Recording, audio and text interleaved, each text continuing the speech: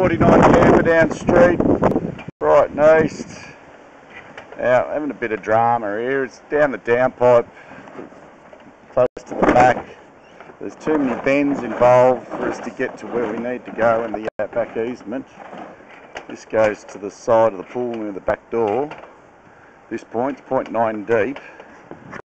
We keep stepping changing direction. There's too many bends to actually get into, and everything's done in T's, not swept junctions. This is going parallel across the back door, under the decking.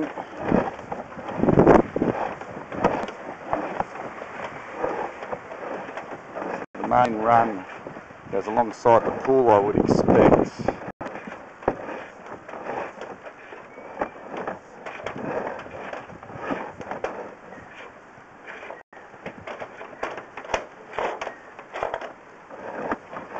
and then coming up.